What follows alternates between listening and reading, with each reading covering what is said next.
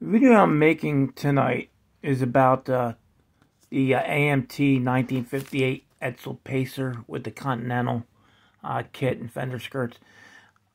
My question is, anybody that built this kit, did they go through the trouble of ordering this um, photo etch metal kit to put on this model? And if you did, how did you work out? How did, did it work good for you? And how hard was it to cut out the individual letters uh, to put on the model?